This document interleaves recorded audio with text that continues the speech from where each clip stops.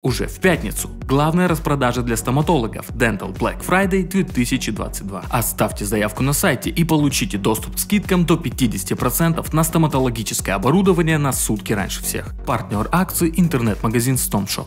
Ты как раз таки являешься одним из людей, которые в достаточно молодом возрасте достигли определенного успеха. Ей фундамент залил, помогал. Она просила об этом. Мы купили несколько кальянов и начали сдавать их в общаге. Ты сиськи предоставил, да? Да, конечно. Мне важна была свобода. Как, как ты выживал, брат? Раньше было круто. Вообще все было на коленках. Чудеса какие-то. А какая разница, каким бизнесом заниматься? Везде есть деньги, то есть везде есть бизнес-процессы. А, Просто еще не время. ну это для тебя легко, видишь? Так- Я не в тусовке. Да, не в тусовке. Знаешь, не хочется никого мотивировать. Ну я-то им зачем? Хороший ортодонт. Стоп, стоп, стоп, стоп.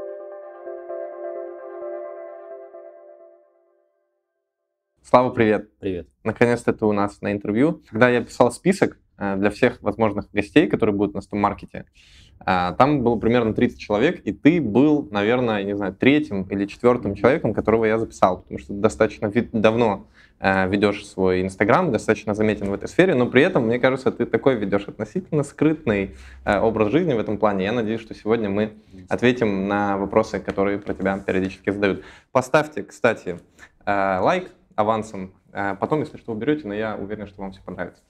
Слав, расскажи, пожалуйста, про начало пути. И ты часто об этом, кстати, рассказываешь в Инстаграме. Смотрите, у Славы в Инстаграме все ссылки будут э, внизу. Э, Про то, как все это начиналось, как вот этот классный путь разворачивался с самого-самого начала. Я учился в Сибири, город Кемерово.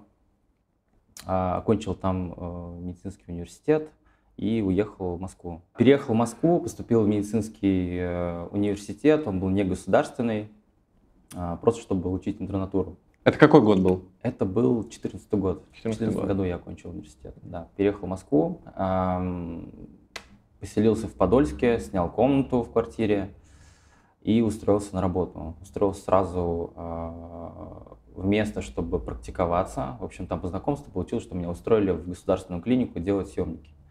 Это было первое место. Я ездил туда там один-два раза в неделю. Дальше устроился работать ассистентом стоматолога. С Подольска ездил на Выхино. И устроился еще врачом по найму. Клиника была на Волгоградском проспекте, только открылись. Там было, было два кабинета, ни одного врача. Я был там первым врачом универсалом. В общем, так примерно начался мой путь. А, 40 тысяч рублей в кармане у меня было, которые я накопил со студенчества. А, В студенческие годы работал и помощником врача, э, кальянщиком, барменом, где только я не работал. Вот. Дальше я как-то начал зарабатывать денег, а, понимал, что мне просто хватает э, заплатить за квартиру, там, поесть и, и все как бы. Вот. Но понимаю, что у меня просто потолок э, физический в виде там, дней, то есть 6 дней в неделю я работаю, у меня просто не хватает там, энергии, сил для того, чтобы там, больше заработать, там, обучиться. Короче, вот э, эта катавасия продлилась, я не помню сколько, полгода, по-моему. А, И параллельно я устроился еще работать курьером по воскресеньям, э, развозил чехлы автомобильные. Ну, на самом деле меня не напрягало, я просто ездил по метро. Мне нравится ездить в метро, я сейчас не езжу, правда, но раньше мне нравилось. Ездил по метро, изучал метрополитен, смотрел Москву. Это сколько тебе лет бы было в 14 получается? 24, по-моему. 24. Да, 24 года. Что я делал параллельно? Я всю жизнь мечтал заниматься бизнесом. У меня отец, э, отец э, серийный предприниматель, скажем так, еще из 90-х. Серийный? Ну, серийный, что значит ну, бизнес, Ага. бизнес заканчивается, другой, другой, другой, другой. Вот, и для меня это была такая некая ролевая модель, вот, что мужчина должен как бы денег зарабатывать сам, а, должен бизнесом заниматься, и я всю жизнь хотел просто заниматься каким-то своим делом. Вообще, на самом деле, я не думал, что я буду связывать свою жизнь потом со стоматологией. То есть я, я думал, что я буду работать стоматологом и параллельно заниматься каким-то бизнесом. Вот. Я начал изучать э, просто маркетинг, начал изучать все, что связано с бизнесом, просто начал посещать какие-то лекции, смотреть просто бесплатные видюшки на ютубе. э, и, в общем, меня это как-то заряжало, и я начал что-то делать. Начинал я с того, что... Ну, я потом расскажу, что это все связано с стоматологией. Я начинал, я начинал с того, что я настраивал, начал настраивать рекламу. Ну, там, таргетированная реклама, ВКонтакте, э, Яндекс Директ, э, потом научился сам делать сайты, потом предоставлял свои услуги как подрядчик для э, для бизнесов, для, ну, для маленьких. Ну подожди, подожди, мы сейчас далеко зайдем, у нас Далеко? давай все, все Давай. по порядку, а то мы сейчас все зрители запутаются в Так. многообразии твоих увлечений. Вот когда ты еще работал врачом, вот ты закончил Кемеровский университет. При Да. всем уважении к Кемеровскому университету, я очень сомневаюсь, что там дают э, препарировать под виниры и э, какие-то современные крутые протоколы. А, у кого ты учился? Как вот ты получал свой ну, какой-то уровень? Я приехал в Москву, а, посмотрел, сколько стоит обучение у Бабурова. Тогда оно стоило 80 тысяч рублей. Я понимаю, что у меня в кармане 40, а, я зарабатываю там еще 60 примерно, там, там 50-60 мне не хватает. Вот. И я как бы поставил себе какую-то такую небольшую цель. Первая задача была накопить денег и поехать к Бабурову. Я поехал к Бабурову, потом начал покупать э, онлайн вебинары, то есть ну, вот таким образом. И начал это сразу применять. Просто я понимал, что если я съезжу на учебу и не буду применять это на практике, то ну, нахрен все это было нужно. То есть ты съездил к Бабурову, я, я начал- онлайн я, я постоянно да, обучался, а, процентов 20, наверное, своего бюджета я просто тратил на какое-то обучение, а, копил, а, что-то, деньги какие-то оставались, я их просто откладывал, я понимаю, что, ну, может чему-то еще поучиться. Вот, да, ездил к Бабурову, там, покупал курсы Першина, что-то вот, э, ну, вот все стоматологи топовые, которые есть, у них, собственно, и проходил обучение. С Александром Першиным, кстати, у нас интервью на канале.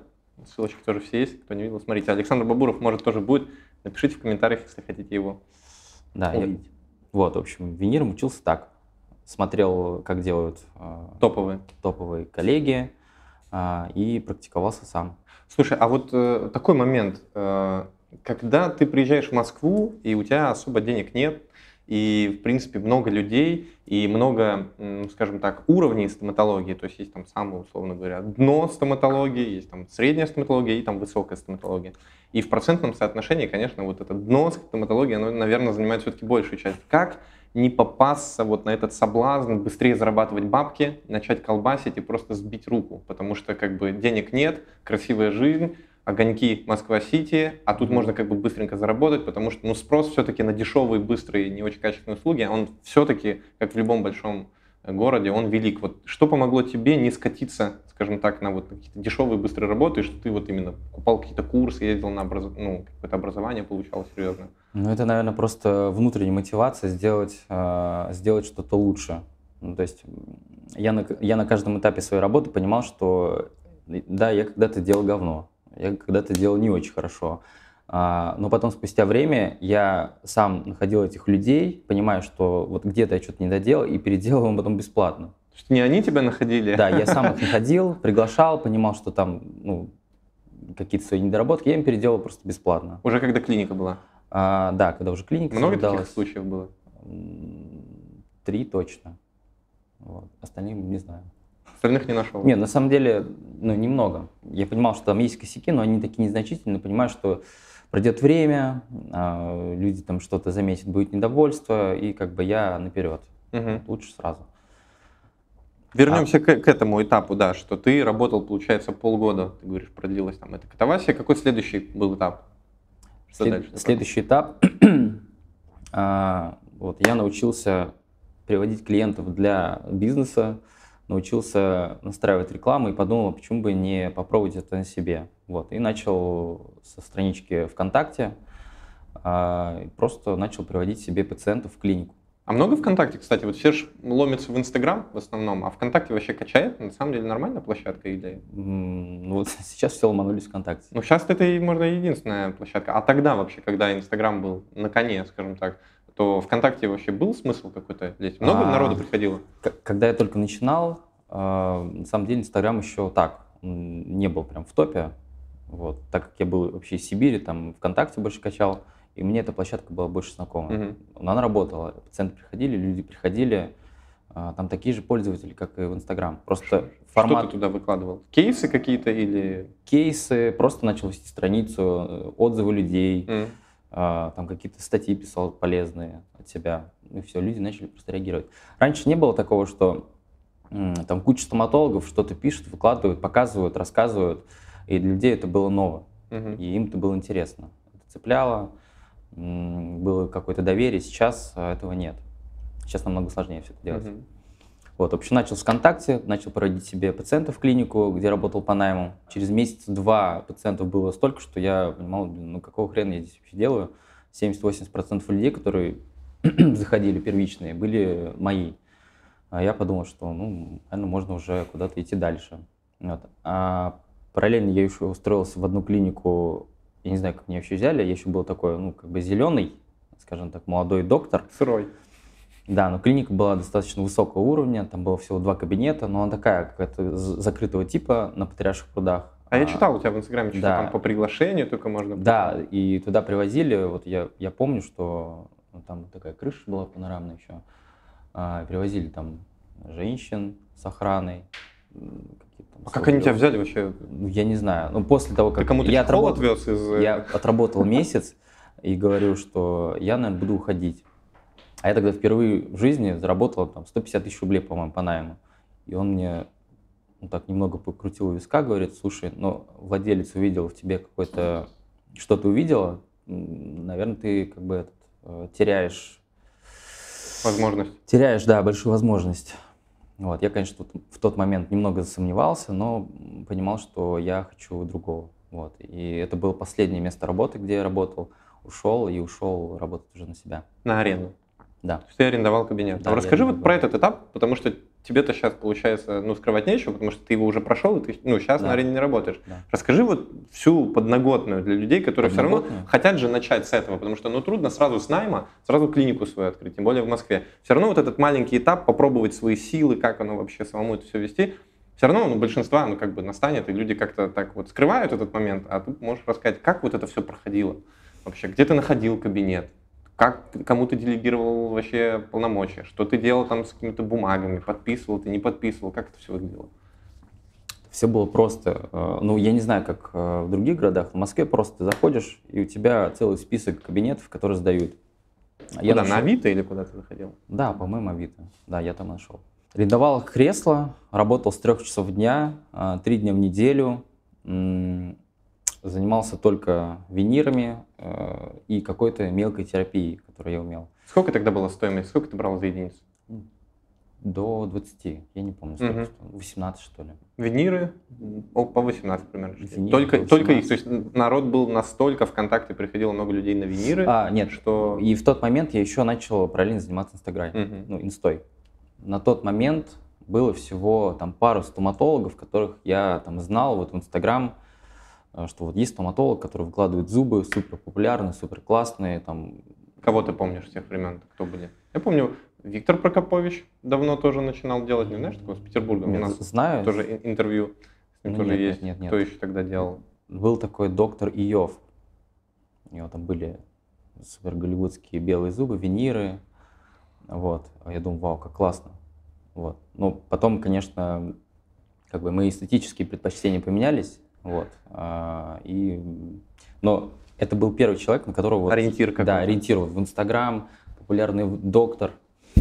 А, и, в принципе, я начал делать практически то же самое. То есть у меня были какие-то кейсы, а, какие-то фотографии, я начал просто выкладывать, просто что-то писать, и получил огромный отклик. Я мог выложить э, какую-то фотографию, там, не знаю, со съемниками, я, по-моему, выкладывал, до и после.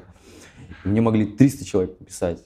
Есть Реально? То есть да, это настолько свободный человек. рынок был? Где ну, ты... Вообще было все свободно. А, я мог разместить а, рекламу в паблике в каком-то, и мне и, и за ночь мне могли, там, не знаю, прийти там по 3000 человек, подписаться Чудеса на меня. Чудеса какие-то. Сейчас люди локти кусают, потому что сейчас люди Но снимают сейчас это с софтбоксами, там, виниры какие-то супер идеальные, там, один лайк.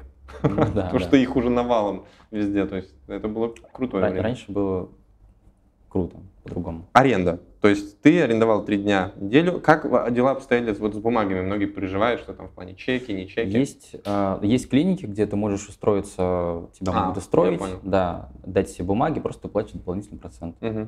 Все. То есть для меня это было важно, потому что а, ты сам спишь спокойно, и пациентам какая-то ну, гарантия безопасности, да, и для клиник, которые предоставляют тебе место, что они понимают, что врач как бы не совсем... Э, ну да, ну, с улицы кто-то. Да, а как ты вел именно записи там, в заметках или какие-то Google Notes? То есть как ты вел? Запись у меня была вот в журнале. В бумажке просто? Да, ничего не было, никакой, никаких заметок, никаких таблиц Excel, программ, ничего не было.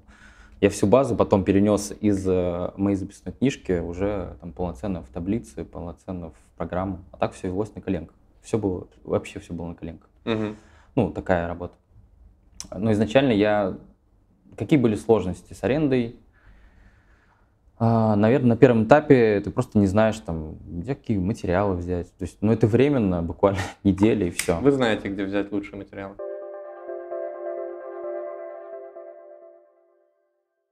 И, и как ты решил этот вопрос? То есть ты просто сидел, смотрел, где чего взять, и сам сидел, изучал, как всегда? Да, ну это, это, это больше технический mm-hmm. момент, прошел быстро, и я как-то даже особо не помню, что были прям такие сложности. Mm-hmm. Основной упор у меня был на... Я понимал, что мне нужно платить аренду, мне нужны пациенты, и мне нужно это как-то как бы двигать дальше.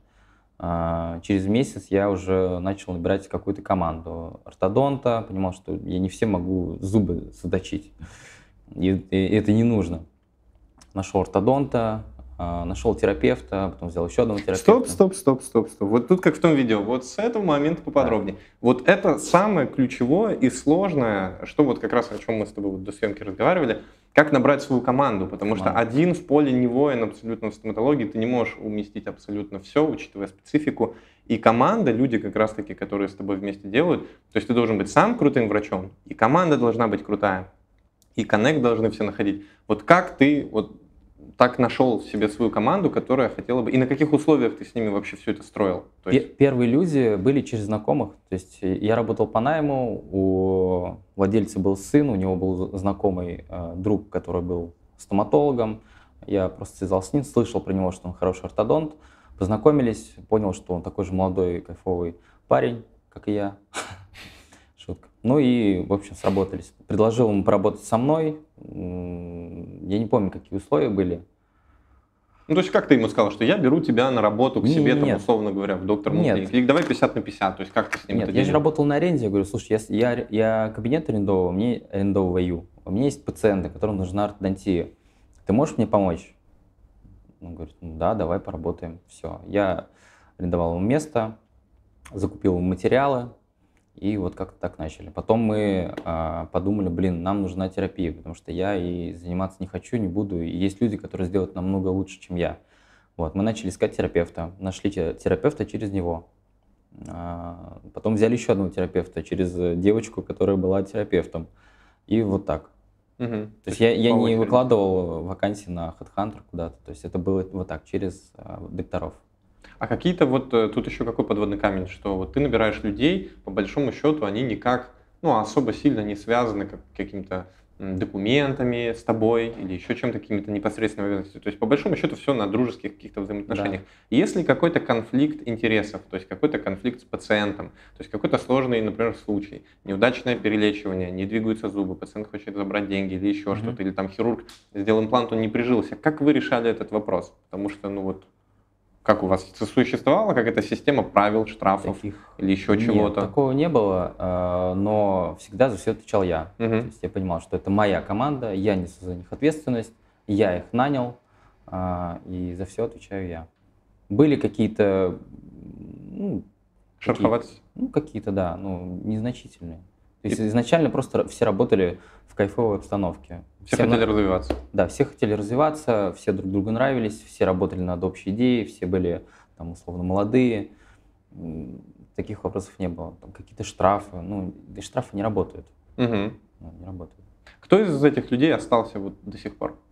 Или все, а, все, кроме ортодонта. Вот, мы с ним работали долгое время, а, и он просто со временем ушел тоже на аренду. Нормально, мы с ним поддерживаем контакты.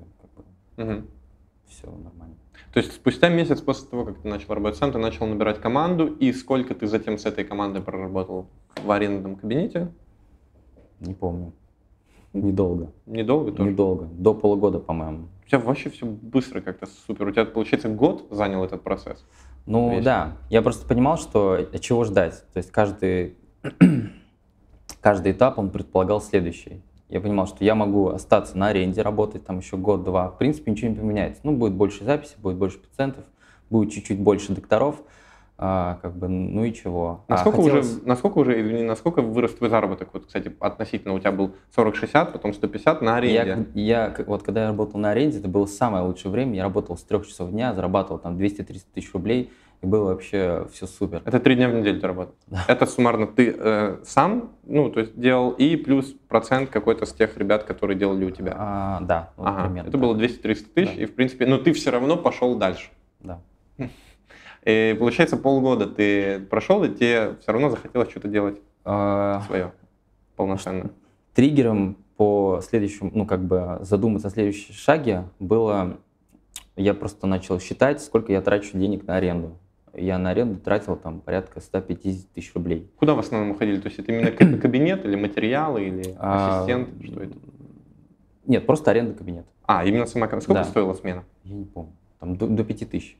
Это 6 часов? Да. Мгм. Вот, я посчитал, что, блин, это до хрена. Уже проще кабинет Да, целый, уже ну, проще клинику. арендовать какое-то помещение, как бы закупиться туда и свою клинику открывать. Я начал поиск, начал просто смотреть помещения, а, там небольшие, до, до 150 тысяч рублей. Так нашел помещение свое первое. Это и было первое? Вот, Да, первая клиника была прям рядом с э, Олимпийским. Здание было убито такое, оно не очень красивое, но от метро, проспект Мира, одна минута, вообще супер идеально. Второй этаж, правда, там был. Еще вахтерша там была такая. Не очень презентабельная. Но для меня важно было, что это удобно для пациентов, э, это свои стены, э, своя команда, делаем, что хотим. э, Ну, в общем, полная свобода. Мне важна была свобода. И когда я уходил с найма, кстати, тоже была важна свобода, потому что я знаю боль многих докторов, когда они работают по найму, они там, вот ну, докторам на самом деле виднее, когда они вот, ну, работают в поле, скажем так, да, там чего не хватает, какие материалы, там, э, какие там э, новинки, там. ну, Это если им не насрать. И еще таких докторов надо найти, которые не Ну хотят да. просто рутине. В этом и вопрос про команду, потому что как бы так все звучит на самом деле, ну, прям легко. И, не знаю, мне кажется, зрители могут вообще не поверить. Ну, блин, какие-то просто чит- чит- чит-коды какие-то, как в Нет, GTA ну, ко- команда с- это самое сложное. Это самое Персонал, сложное, да. да, чтобы они прям самое искали там новинки, работая сами в наем.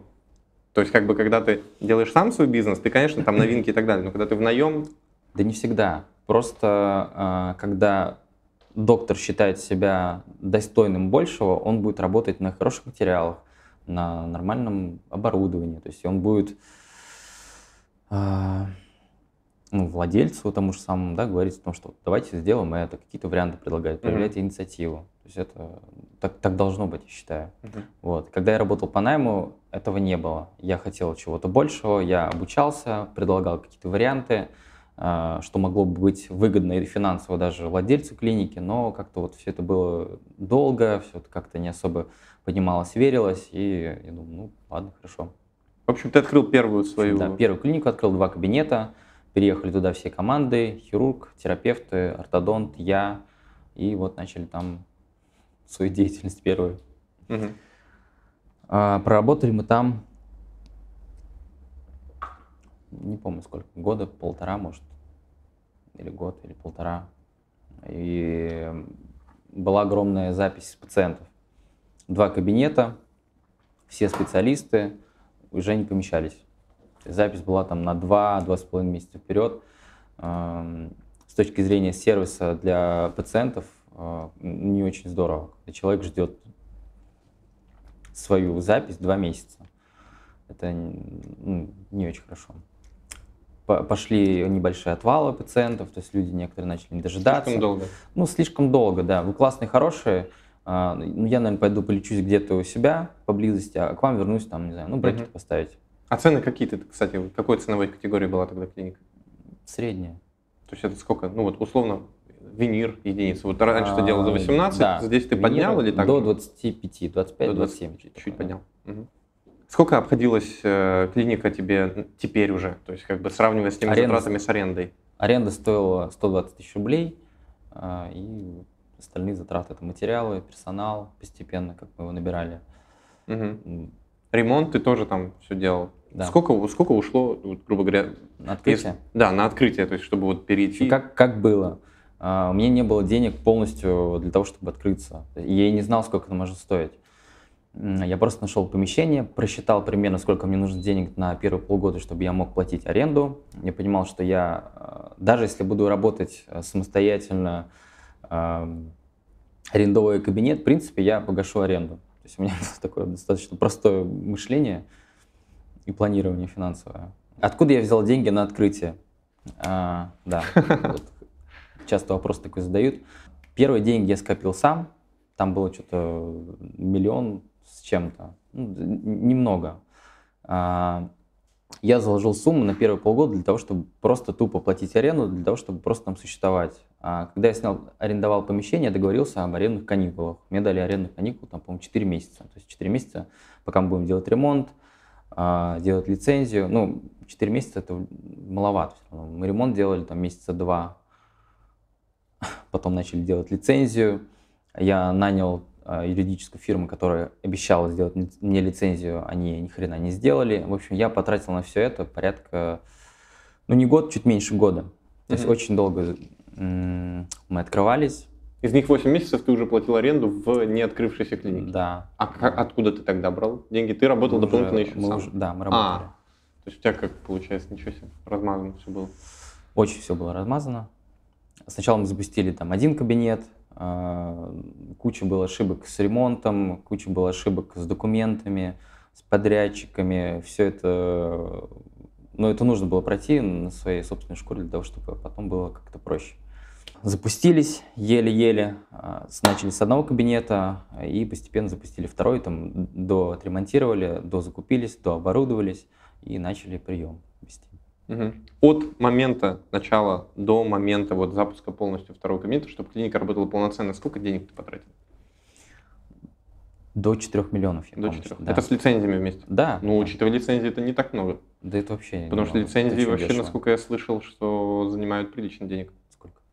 Ну, я там слышал чуть ли не по 500 тысяч за лицензию люди mm-hmm. платили, за рентген, там, за все остальные дела. Mm-hmm. Примерно столько, да?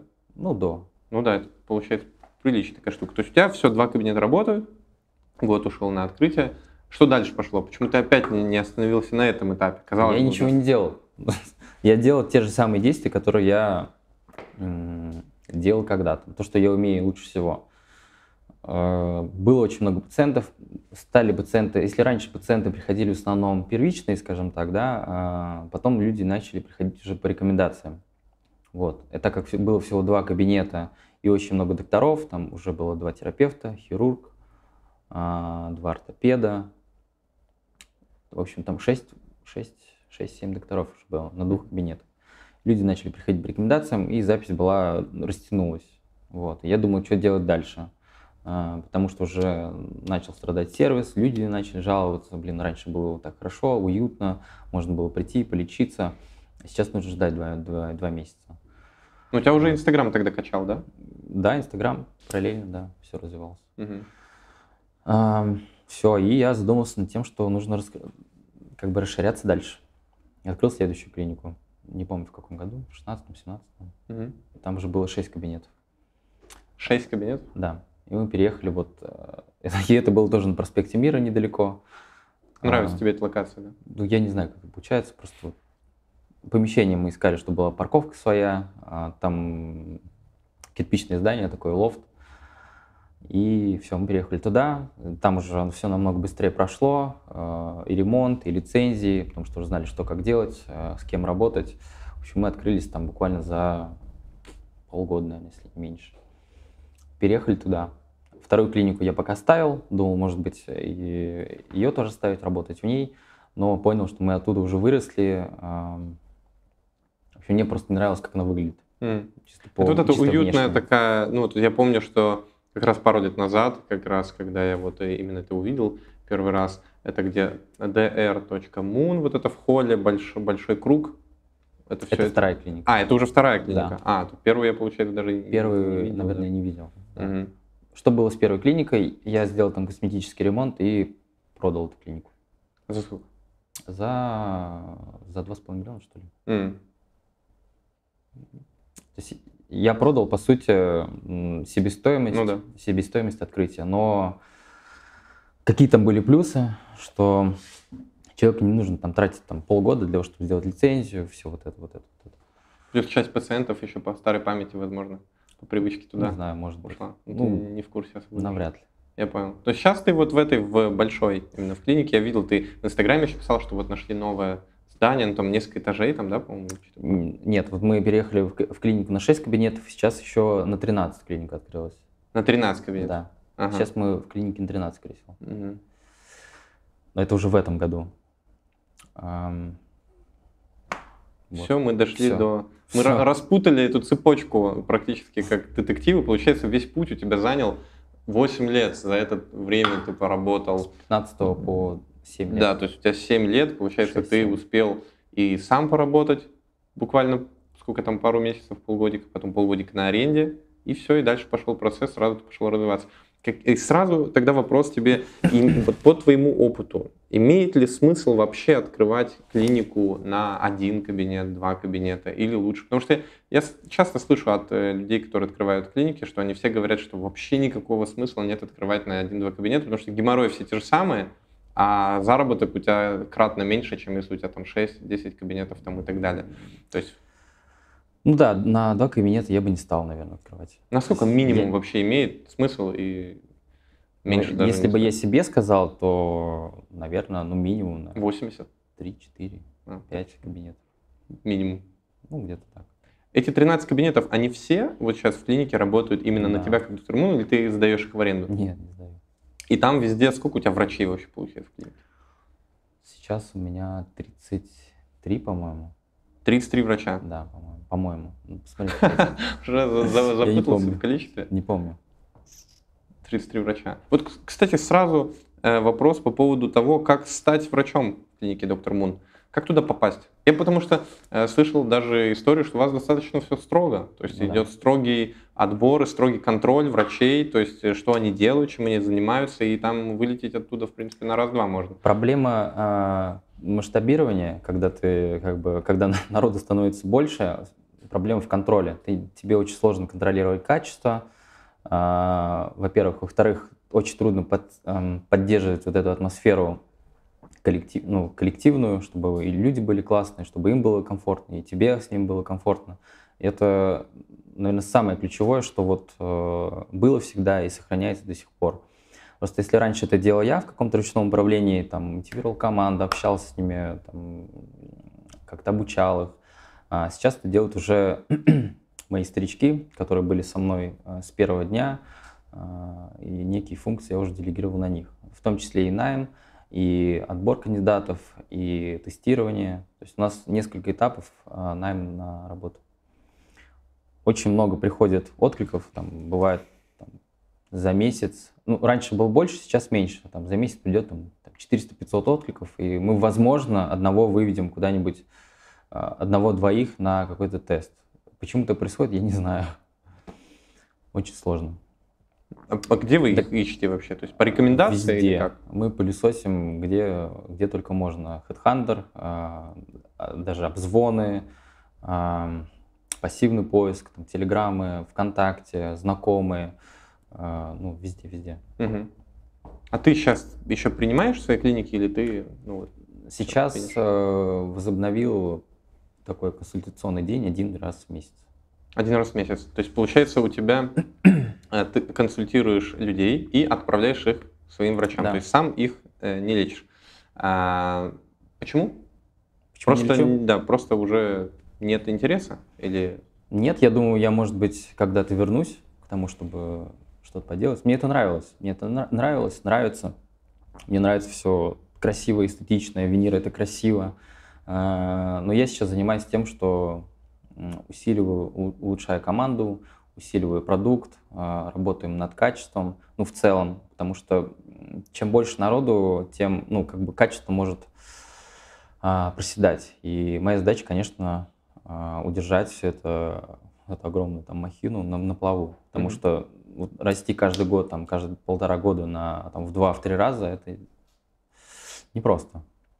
если, получается, у тебя один день в месяц у тебя консультационный, и клиника работает в плюс-минус автономном режиме, то есть у тебя есть старички и так далее, чем ты занимаешься тогда в основное время? Как выглядит вот твой день? Ну, это может выглядеть стороны, что я ни хрена не делаю. Нет, это самом так, деле- это так абсолютно не выглядит, но просто для людей, которые, ну вот, условно говоря, выжимают какие-то какую-то вот Да. информацию, получается, что один день в месяц консультативный, и получается автономно многие вещи, там, найм сотрудников, контроль, э, обзвон там и так далее э, устроен. А какая твоя конкретно роль, твоя задача? Чем А, ты занимаешься? Сейчас мы, сейчас я выстраиваю отдел а, руководителей и уже руковожу малой группой. То есть а, невозможно управлять там, сколько у нас, 80 человек всего в компании. А, невозможно всеми управлять. То есть можно управлять маленькой группой, там, 5-6 до 5-6 человек. Вот у меня есть 5-6 ключевых людей, которыми могу управлять я. Они, в свою очередь, управляют уже другими а, ну, группами. Ну, давай конкретно. Вот, например, да, ты проснулся. Кстати, во сколько ты просыпаешься? Сейчас 8-9. 8-9. Э, потому что ты сам, ну, любишь рано вставать, или чтобы просто все успеть? Ну, моя функция сейчас это постановка правильных задач и корректирование и корректирование руководителей их целей. То есть мы, у нас есть, например, ежемесячная планерка. Мы садимся и каждый расписывает свои задачи на месяц. Каждый по своему отделу. Но это тоже раз в месяц. Вот, ну ты конкретно, давай продолжим. Да, сейчас я вот ты приехал. раз в да. месяц, а потом есть раз в неделю, потом есть ежедневные встречи. То есть э, у меня сейчас формат такой, больше поднаправить, сказать, куда нужно. То есть я больше стратегически, скажем так, а команда уже больше тактически. То есть ты идейный вдохновитель такой, направляешь русло. Ну, это всегда владелец бизнеса, он, да, он больше за стратегию, за развитие, куда мы идем, а команда уже делает все остальное. Мгм. это, по сути, наверное, это и есть делегирование. Сколько часов вообще в день занимает именно непосредственно Работа? работа? Да. До, до 4 часов, наверное, так. То есть, в принципе, ты в 10 приезжаешь, к обеду ты уже свободен. А, ну, бывает так. Плюс-минус. Да, бывает так. Ну, обычно это где-то с 11 до, вот, до 5, прям вот рабочее время, когда я там могу какие-то встречи проводить, что-то, а потом уже все. То есть после 5-6 часов вечера ты ну, и не продуктивен. И это каждый день. Сейчас уже нет. Раньше да. Раньше да, каждый день бывало, что мы задерживались на работе там до двух ночи. А Сейчас а, 3-4 дня в неделю. Вот, и есть стабильные выходные. Наконец. Наконец. И что ты делаешь вот в это в освободившееся время? Потому что все ребята, которые у нас были, у кого есть свои клиники, они все постоянно говорят, блин, целыми днями я постоянно вот там целыми днями контролирую, что-то не могу там делегировать, потому что там подведут и так далее. У тебя при этом получилось каким-то образом так вот все распределить, организовать. Но, кстати, опыт отца помогает тебе? Ты консультируешься с ним на эту тему каким-то образом? Или ты сам все уже? Да нет, не консультируюсь, но и он не вмешивается никогда. И никогда ничего не советует. Наверное, совет это самое плохое, что можно вообще дать э, предпринимателю. И он прекрасно понимает, он всегда мне говорит, что нужно учиться всегда на своих ошибках. Он понимает, что я делаю что-то, может быть, неправильно, и я это понимаю, осознаю, но он говорит, что да, должно быть так. То есть он не поправит тебя, Оба. если он даже видит, что ты ну вот где-то... Он может мне дать какую-то обратную связь, сказать, слушай, вот я уже так-то, так-то. Ты как думаешь? Ну, то есть э, заложить какое-то зернышко для того, чтобы я подумал, вот, и сам принял решение. Тут самое важное, это вообще самая ключевая, наверное, функция как, как бы владельца бизнеса, это вот принимать решения, там, правильные, неправильные. Ну, Ответственность брать. да, брать, от- брать ответственность всегда во всех вопросах. Поэтому и команда за тобой идет, они понимают, что вот есть человек, который отвечает за, за все. Ну, понятно, что про Да. все, все, все 80 человек мы не сможем сейчас охватить. Да. Но Вот расскажи подробнее именно про вот эти вот несколько человек, которые являются ближайшим твоим окружением в этом плане, которые с тех самых времен. То есть, а как вы с ними познакомились, какую роль они выполняют сейчас в клинике? Ам, Ну, есть у меня, например, финансовый директор, кото- который отвечает за, за, все, за, фи- за все финансы, включая личные мои. Серьезно? То есть прям Да. говорите, что Слав, ну в этом месяце уже все. Да. Две курсы сейчас, я дольше, получаю это уже зараб- перебор. сейчас я получаю заработную плату. Как, э, Реально? Да. Ты просишь у него, типа, ну, я, можно в счет следующего месяца там у Louis Да, Vuitton мы, с коллекция ним, вышла мы, с ним, мы с ним договариваемся. Реально? Да, мы каждый, ну сейчас да. Да, почему это важно? Потому что я сам в определенный момент э, понял, еще несколько лет назад, что а, проблема у владельцев бизнеса, что они иногда съедают деньги а, как бы из бизнеса, считая, что это их деньги. Я тоже так, раньше так думал. То есть это, по сути, бизнес 90-х. Заработали, попилили, разделили, разошлись, и вот все там прошли, прожрали, прогуляли, и все. Но в этом нет э, развития, в этом нет какого-то годового планирования, там на год, два, три. А бизнес в таком случае не особо жизнеспособен, скажем так, ну, в далекой перспективе. Mm-hmm. Если ты хочешь развиваться, тебе нужно четко понимать, там три ключевые функции. Это финансы, это качество продукта, персонал и стратегия маркетинг. Вот эти три ключевые вещи как бы нужно всегда держать руку на пульсе, скажем так. Это, это исключительно мои функции как владельца бизнеса. Угу. Так, человек, который вот. занимается финансами, Финансы, кто следующий? Значит, он пришел ко мне вообще из... Раньше был такой нашумевший проект «Бешеная сушка». И он там бешено сушил? Или что он там делал? Да, был самый, самый масштабный, самый нашумевший там ЗОЖ-проект России на тот момент. И ты его захантил? Я просто ним познакомился, написал вообще, написал везде, где только можно было. И вот познакомился, как-то мы начали с ним сначала общаться. А, и впоследствии это привело к партнерству. То есть я был одним из партнеров за главный приз. Они разыгрывали там миллионы, разыгрывали квартиры, а, машины, сиськи, зубы, то есть вот все. Я был одним из партнеров. Ты сиськи предоставлял, да? Да, конечно.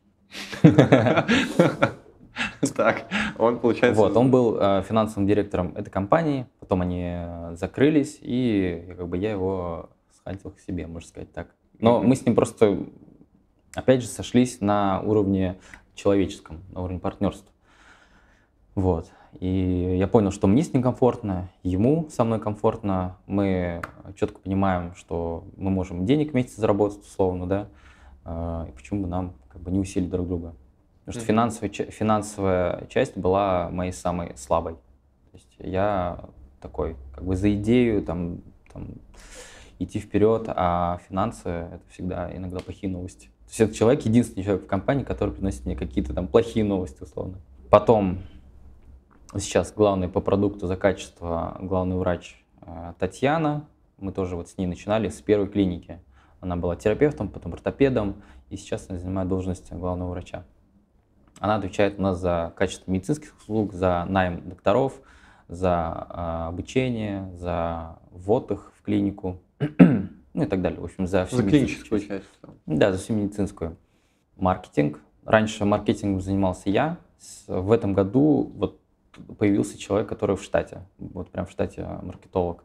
Продажами занимается тоже отдельный человек. А, два года назад или год назад, не помню, в общем, пришла она на куратора к нам. И сейчас она доросла до руководителя отдела продаж.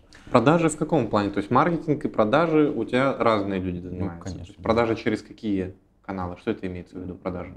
Маркетинг, ну, э, задача маркетинга привести пациентов, условно. Задача продажи конвертировать э, пришедшего человека в постоянного А, ну то, что пациента. делает куратор, то есть как бы ведет его и объясняет, зачем ему Да, но она руководитель отдела кураторов, ну, продаж. Угу. У нас отдел продаж, он многоуровневый. То есть у нас э, есть отдельный колл-центр, есть э, ну, администратор это не отдел продаж, и есть два уровня кураторов. Mm-hmm. Они много разных функций выполняют у нас. Так, я насчитал четыре человека. Есть еще э, исполнительный директор. Это мой друг, с которым мы учились в Кемерово, врач-психотерапевт. Да, а, и вот Ты его сейчас... подтянул уже оттуда, или вы с самого начала с ним начали здесь как Нет, нет, нет. У вас же разные сферы. Да, разные сферы. Ну, как так сложилось, что последний год он со мной выполняет функцию исполнительного директора.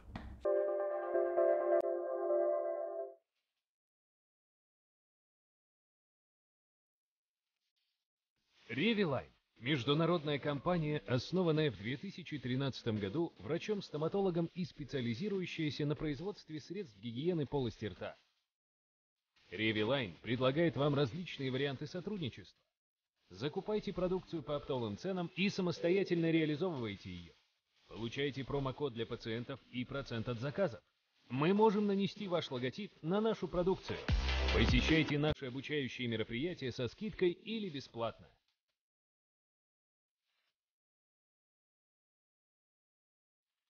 Получайте продукцию на тестирование, обзор и розыгрыши. Напишите нашему менеджеру, и он отправит вам персональное предложение по сотрудничеству в WhatsApp. А правда, что для вот, успешного ведения бизнеса не столь важно, ну, ты уже немножко обмолвился об этом, не столь важны как бы именно компетенция человека в профессионализм, сколько человеческие качества, что ты можешь ему доверять, что он mm-hmm. тебя там не кинет, не обманет, насколько ты... Да нет. Ну, тут двояко, на самом деле. Э, с одной стороны, ты можешь нанять э, человека компетентного, с, э, с хорошим опытом, но не факт, что он сделает хорошо в твоем же бизнесе. Не факт, что он повторит тот же опыт, который у него был в твоем же бизнесе. И было куча таких прецедентов. То есть я готов был там платить там, и, и полмиллиона, и, там, и 200, 300. То есть я думал, чем больше платить, тем будет человек больше работать. Ни хрена нет. По факту сейчас получается то, что все люди, которые работают, они выращенные.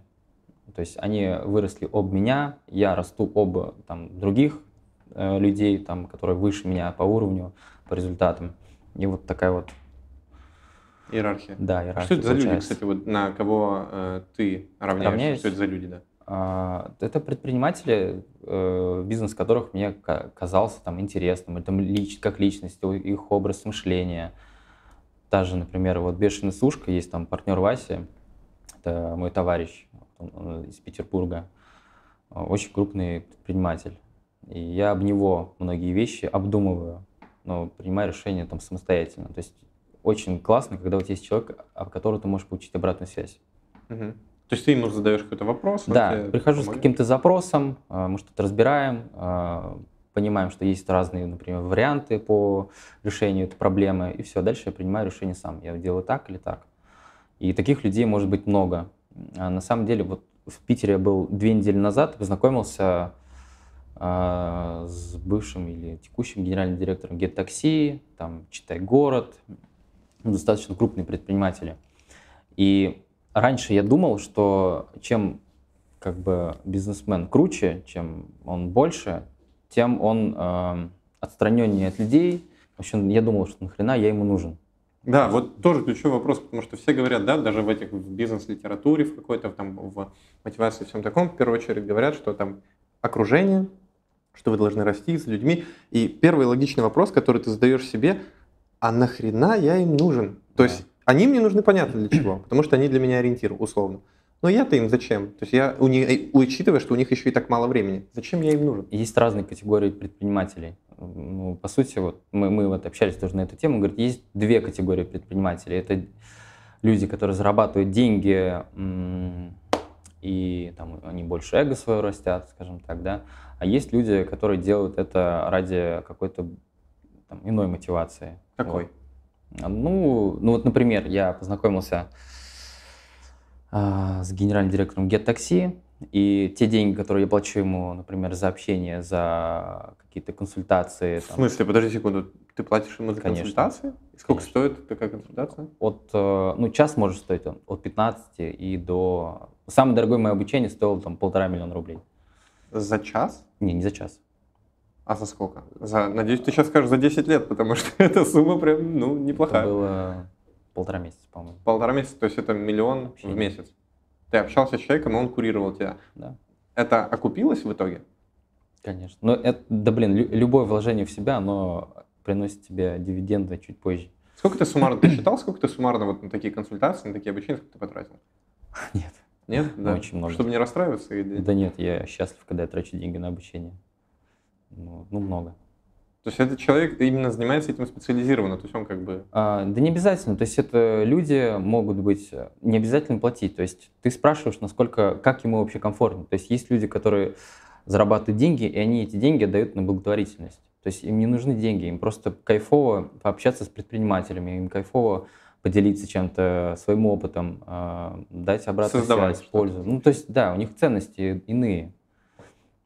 Ну вот мне это нравится, мне это близко.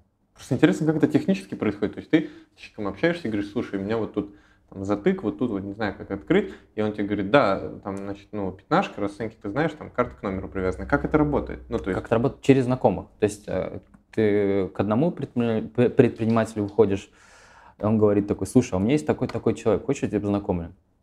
Да, конечно. и все, и через знакомых получается. Мгм. Ты быстро относительно, получается, ходишь с людьми, чтобы каким-то образом быть друг другу Да, полезным. Ты можешь вот какие-то выделить, может, у тебя есть какие-то фишки а-ля Дейл Карнеги, как располагать людей или что-то ты используешь, или это просто само по себе ты просто... Ну да, ты же идешь к человеку как личность. И нужно просто понимать свою ценность, когда ты идешь, э, несмотря на то, что у человека могут быть результаты выше намного, чем твои, эти люди э, намного открытие, чем люди, которые там меньше результаты У имеют. них нет комплекса вот этих желаний доказать, что они там- Вообще никаких.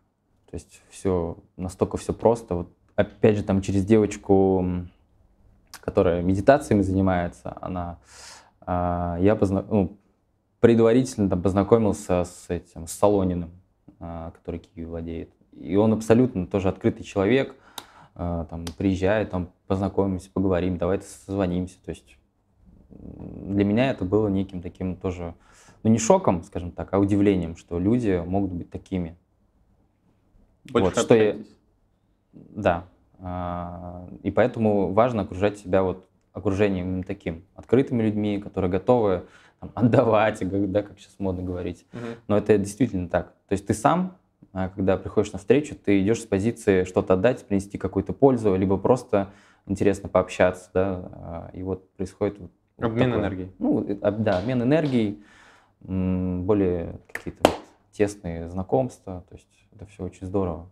Ну и плюс всем классно, то есть э, люди же получают удовольствие от, э, от общения. Сейчас очень мало общения между людьми, мало коммуникации. Ну, это вообще сейчас такая модная тема, это даже все... э, вот, кстати, мне интересно, как ты считаешь, учитывая, что ты вот в этой теме все время развиваешься и общаешься, вот эта тема с онлайн-марафонами, Блиновская, по-моему, или как ее зовут, Мгм. вот как с твоей точки зрения, это чушь или не чушь? То есть кому-то это помогает или вот или это Кому-то чисто помогает. скам? Помогает ей денег зарабатывать, помогает ей. Я не думаю, что она хочет нанести какой-то вред. То есть ее э, искреннее желание, я так предполагаю, что нанести какую-то, ну не какую-то, а конкретную пользу людям. Э, Вопрос, э, как эти люди восп- воспримут эту информацию, как они это будут использовать. По сути, все давно известно, там уже записано кучу видосов на Ютубе бесплатных там, и мотивирующих, и таких, и таких, таких. Все написано в книгах, э, там, автобиографии. Это все уже есть в общем доступе, но просто э, вот затык наступает тот момент, когда нужно что-то делать. Мгм. Вот, и это... Поэтому вот есть там огромная масса людей, которые все знают, там постоянно сублимируют, что-то изучают, становятся осознанными, там, но мало делают. результатов имеют, да. А есть те, кто может... Очень- мне очень нравится, как ведут бизнес э, девочки. То есть у них от мысли до действия проходит очень короткий период. Не париться. Не парится. То есть она вот делает, что нужно вот делать вот так, одну, одну, одно действие. Она делает, и у нее все получается. А, очень классное мышление. Ну, мужикам почему-то иногда не хватает этого. Я не знаю почему. Решительности какой-то? Слишком много лишних... Почему не хватает? Да. Это куча причин. Ну, назови, интересно. А, но если, ну, во-первых, есть всякие там психологические, да, там могут быть травмы, проблемы и так далее, там, уверенность, неуверенность. А, по сути, чем отличается там, например, человек, который что-то делает, от того, кто не делает? Просто у одного есть а, наглость, как бы показать а, свое какое-то видение а, в действиях, да, а у кого-то вот все такое, там, поговорить, обсудить, Безопасно. а, ну да, все, стабильно, безопасно, все хорошо, все нормально. А кому-то, для кого-то просто уровень нормы, он такой, как бы, что-то делать, постоянно что-то там менять. Это склад ума человека, наверное. И ты считаешь, девочки к этому... Не-не, Ты говоришь, нравится, как девочки ведут бизнес. я просто что- знаю много девочек, которые намного бизнес делают проще, чем мужики. То есть они... Не, не Они не не замора- вот смотри, Вот, например, я там, там какие-то бизнес-процессы, цифры, управление, финансы, там команда, там, понимаешь, я там хочу там, компанию большую э, построить, вырастить. А она просто, не знаю, марафон запускает ну, там, на 100 миллионов рублей в месяц. Или, или она, например, там э, занимается Wildberries обучением и тоже там зарабатывает там 30 миллионов в месяц. Как бы все, у нее там, у нее команда, это там три человека. Она не знает какие-то расходы, есть ли или нет, там, не понимает ничего особо там, в управлении там, людьми, э, какие-то бизнес-процессы. Ей вообще это неинтересно, не нужно. Она просто знает, что я могу делать вот так, мне нужно записать курс, мне нужно сделать там, не знаю, сторис рассказать что-то, упаковать там это все, э, и, и все, понимаешь? Вот все очень просто. Ну, тут два сразу вопроса-комментария.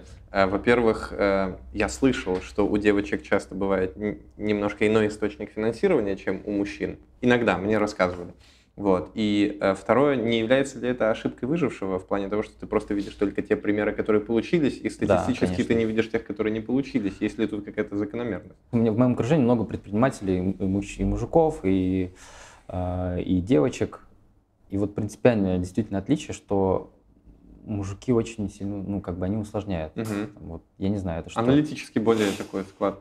Все, все более рационально, логически. А, то есть нужно все перепроверить несколько раз, там, не знаю, а точно ли будет, там, риски просчитать или, там, ну, часто усложняют. То есть больше усложняет, это просто мое наблюдение, это не, говорю, что так есть, просто мое наблюдение среди моего окружения. А, вижу, что сами себе палки плюс вставляют. Ты стараешься держать баланс, то есть между, то есть и анализировать, тоже, и как-то... Мне тоже трудно, да. Где-то я и бывает и прокрастинирую, не хочу. Где-то наоборот понимаю, что нужно мне включиться сюда, а, быстро отреагировать, там что-то сделать. А, ну, есть, ну, возможно, соблюдаю какой-то баланс, да. Ну, ты даже сказал сейчас вот про прокрастинирую. У меня целый там был э, раздел, где я хотел как раз-таки узнать, что когда вот все гости к нам приходят, это в основном такие очень замотивированные, молодые, успешные ребята, которые к чему-то стремятся, к чему-то двигаются. Тем не менее, э, складывается впечатление, как будто бы вот, ну, у них не бывает каких-то просадок, не бывает каких-то энергетических ям, как будто у них все получается каждый uh-huh. день.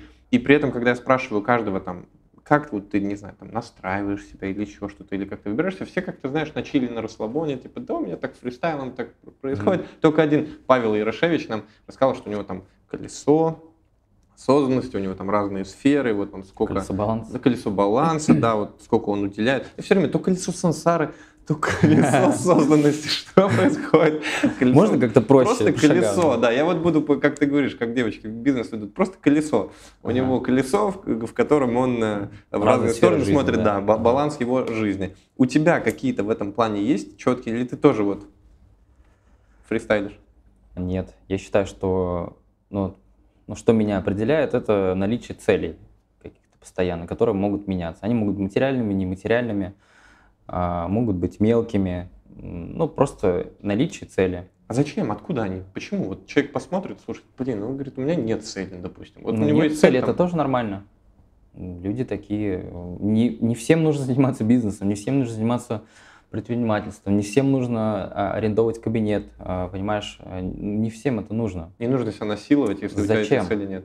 Зачем? Ну, потому нужно. что человек смотрит, например, на весь этот э, образ жизни, там, на Инстаграм, ему тоже как бы вроде, понимаешь, хочется, то есть его какое-то э, рациональное, то есть человеческий какой-то мозг, ему хочется вот как бы тянуться к какому-то классному окружению, ему хочется куда-то ездить, он понимает, что, условно говоря, он хотел бы вести такой образ жизни, но его какой-то вот внутренний животный вот этот вот момент говорит, сядь, посиди, попей пивка на диване. И вроде и как бы и хорошо, и нехорошо такая каша. Вот как Если человек каши. не делает, значит его все устраивает. Значит его так устраивает. То есть это основное мерило. То есть пока не делаешь, значит тебе и окей. Все нормально, значит это так должно быть. Но ты, ты же хочешь. все равно преодолеваешь себя каким-то образом. Вот ты понимаешь, что ты прокрастинируешь, и ты себе говоришь, там, Слава, встань с дивана, иди там. Не, ну не настолько. А, вот, например, я запускал недавно наставничество для руководителей клиник. Я этот вопрос как-то откладывал там, просто давно и понимаю, что у меня есть основной бизнес, я на 100% погружу сюда, а вот сюда мне нужно найти силы, времени, энергии. Вот. Но это все тоже так. То есть тебе нужно просто сесть и расписать, да, что ты конкретно будешь делать. А, я это просто откладывал долго. Я называю это прокрастинацией. Вот, какой-то такой. Но я это сделал. Но я, я, я по себе знаю, что я точно сделаю. Если мне в голову зашло, либо я сделаю это сразу. Вообще в идеале, а, если хочешь что-то сделать, ну сделай сразу, а, не задумываясь вообще. А, это единственный, наверное, момент, когда я вот думал над этой идеей очень долго. Года полтора, наверное, делать или не делать. Там, то есть залетает мысль, там, о, классно. Вот.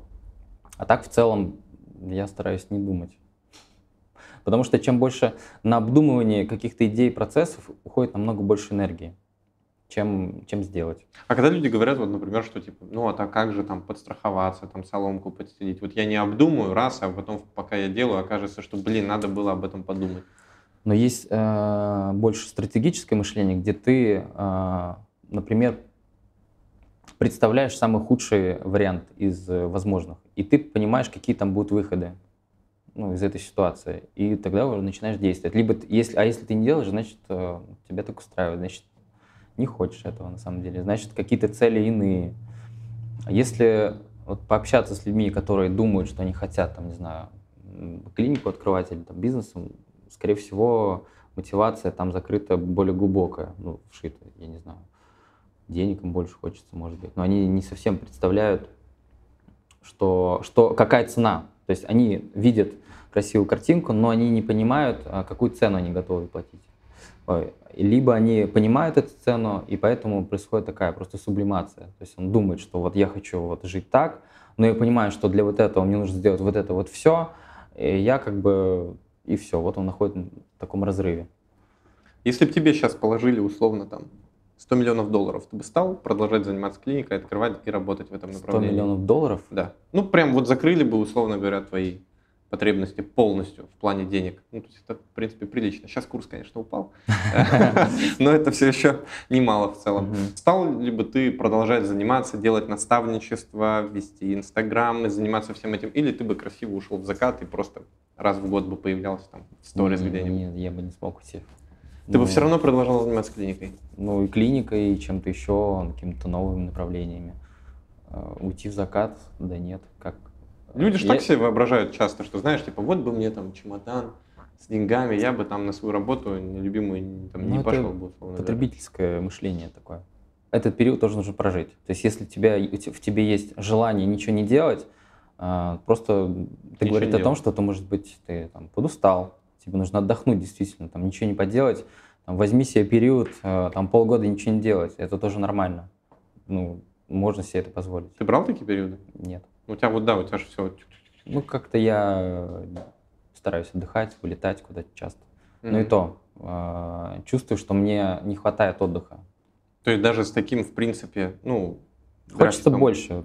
Еще ну, больше? Да, хочется больше путешествовать, наверное, сейчас. Но сейчас это невозможно, но хочется что-то вот смотреть, узнавать новое, а, потому что это все как-то вот дает больше ощущения надсмотренности, что ли. То есть как-то вот расширять свои границы. Сознание?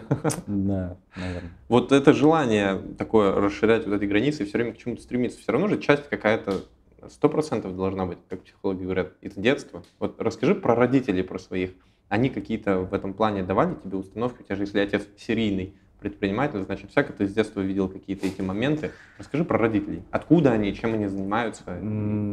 Отец занимался всю жизнь бизнесом, а мама, мама не занималась бизнесом. Она хорошая мама, она очень заботливая, всегда ну, накормить, напоить, а, окружить заботой, теплотой, вот это вот а, моя мама. А отец, он всегда такой, он никогда не работал по найму, а, всегда занимался чем-то.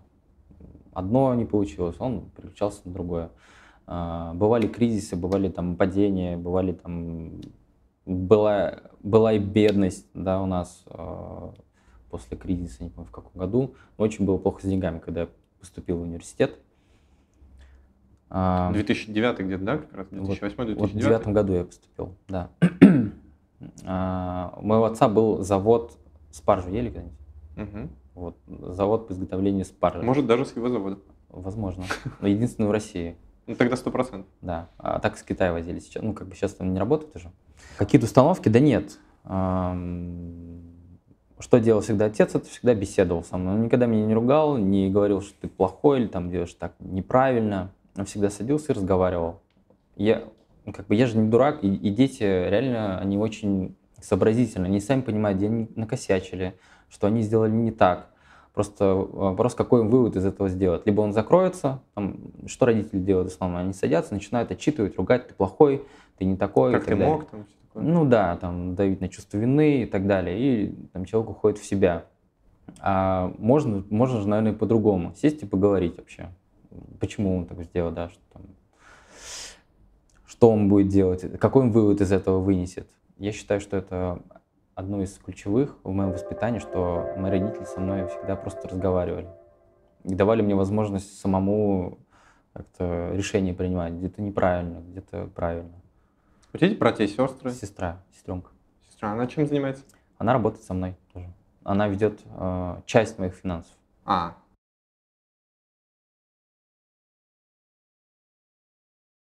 Мы вот, кстати, про семью как раз заговорили. Я спросил, э, если у тебя там братья и сестры, ты сам вообще чего думаешь, когда детей планируешь? Если У меня вообще планируешь? Ребенок, э, девочка, ей четыре с половиной года. Реально? Да. Подожди, ну-ка с этого момента поподробнее. Как это, когда это, чего это? А, ну, у меня была жена, э, бывшая жена. У нас ребенок, вот, все. Ну, вы, получается, развелись. Да, да. Давно? Год полтора назад. И вы как воспитываете ребенка? Она живет с мамой или с тобой? Да, девочка с мамой, конечно. Я понял.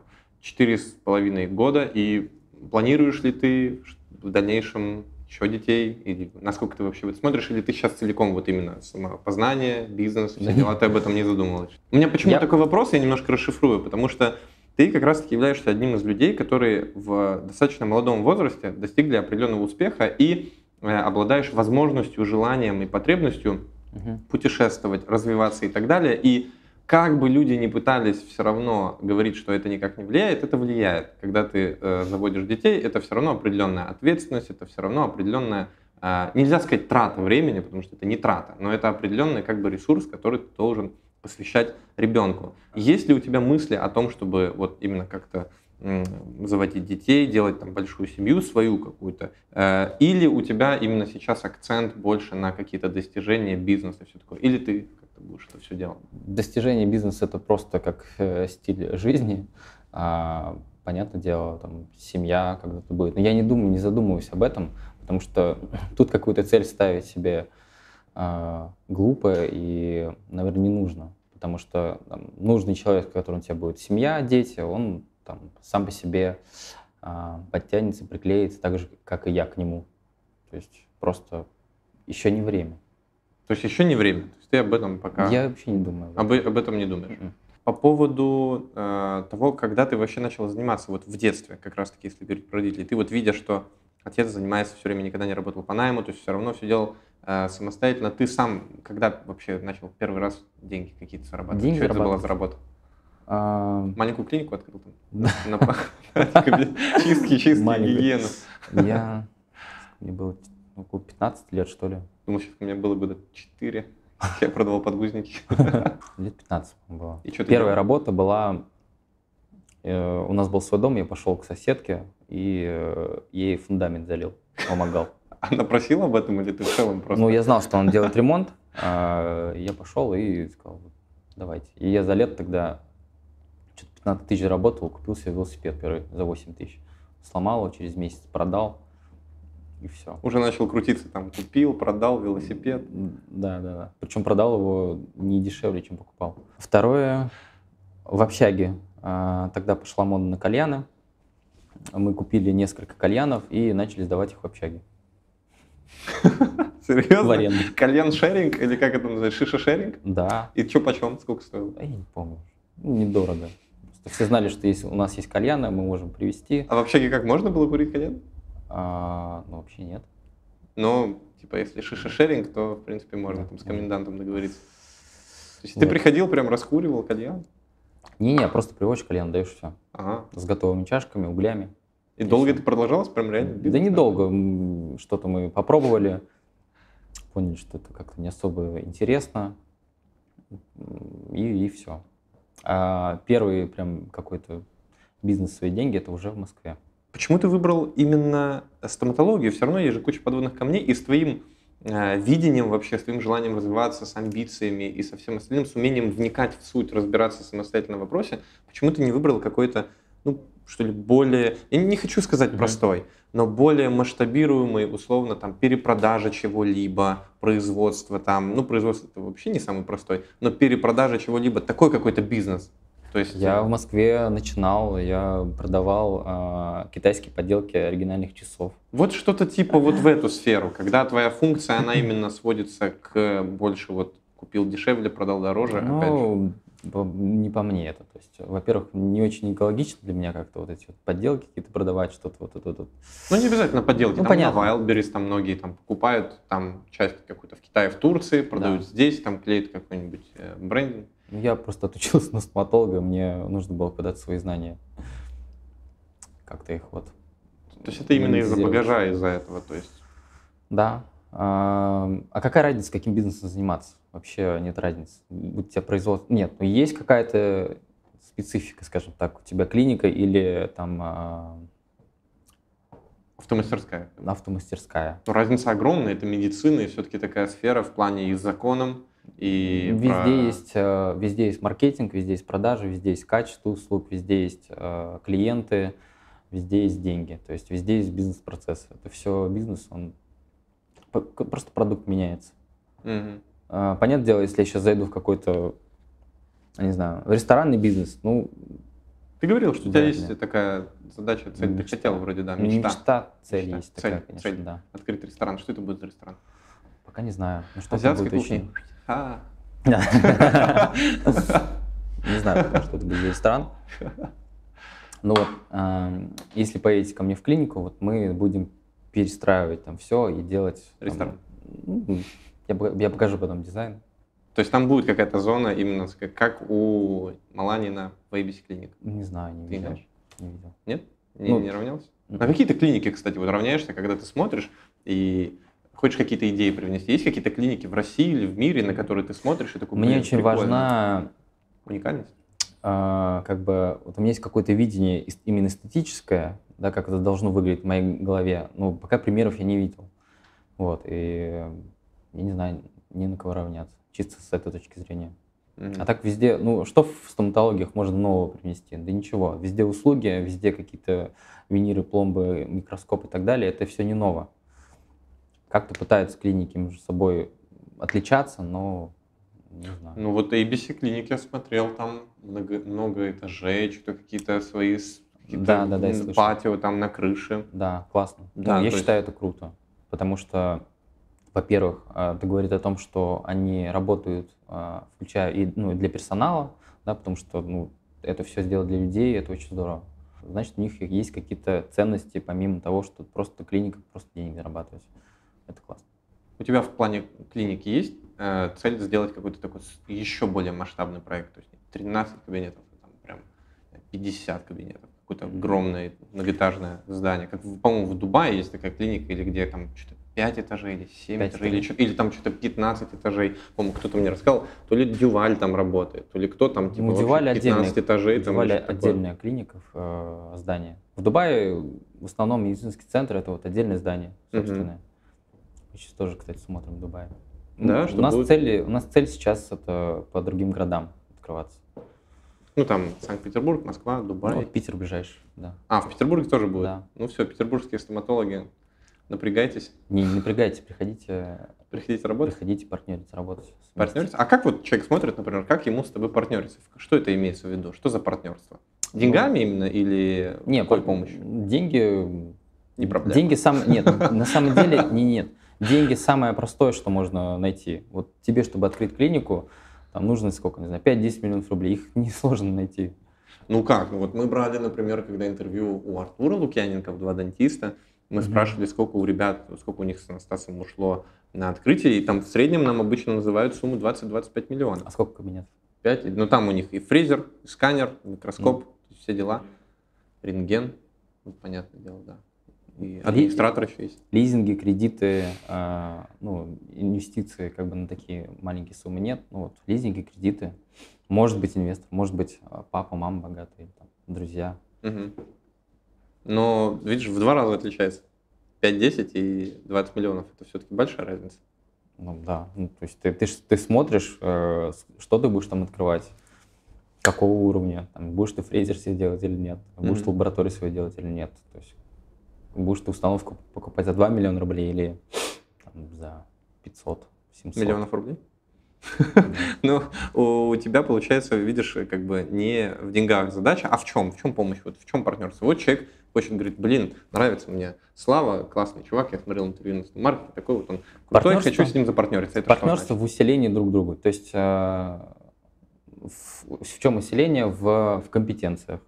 Да, если я понимаю, что мне... То есть партнер ищу я. Э, если мне нужен человек, э, который будет отвечать, например, за качество продукта, за медицинскую часть, я буду себе искать такого партнера. Если он действительно в этом силен, то мы можем в этом сойтись. Если мне нужен человек, который обладает мышлением предпринимателя больше по бизнесу, то я буду искать такого человека. Возможно, даже не стоматолога, скорее всего. То есть формировать команду, как ты сформировал ее здесь, то есть вот этих вот, условно говоря, пять твоих да. Э, да. пальчиков, да. они будут у тебя, соответственно, в Санкт-Петербурге. А что за место? Ты что-то присмотрел, где это Питере? будет? Да. Невский Нет, проспект, я, я ищу... Нет, да, Невский вроде как не очень удобно, да? Ну, ага. в плане... Я Питер еще не, не изучил, а, не знаю, ну где-то в центре, чтобы было удобно. В первую очередь, чтобы было удобно людям. А как это будет? Может, мы купим клинику какую-то? Или, или Собственно. Свою? Но ну, у тебя сейчас клиники, они в аренде? Нет, нет. Купим клинику как готовый бизнес. А, То есть, чтобы нам не строить с нуля, мы заедем, может быть, там, ну, не может быть, а косметику наведем, там, что-то обновим. Ну, просто вопрос вот этого срока э, ремонтов, э, лицензий. То есть, чтобы год опять не... Ну, не год, да, там полгода. Хотелось бы чуть быстрее. Хотелось бы чуть быстрее.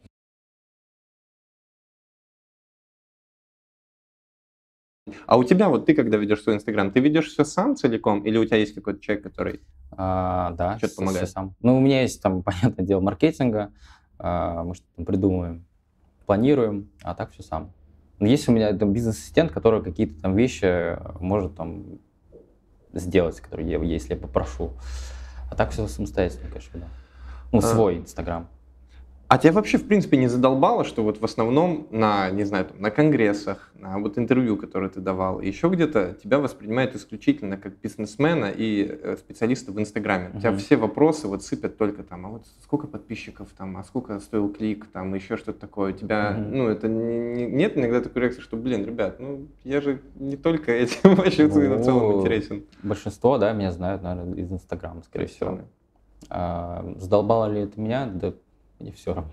Нормально? Да нормально. Ну, как бы людям это интересно, им хочется углубиться туда, там, не знаю, как-то узнать. Ну, пожалуйста. Просто тут ничего нового нет. Все инструменты известны, все в общем доступе. Не знаю, люди ищут какую-то, не знаю, волшебную таблетку или там супер совет или Секрет про, какой-то. да, какой-то практический, практический инструмент, который вот они завтра применят, и вот все произойдет. Такого не бывает, наверное.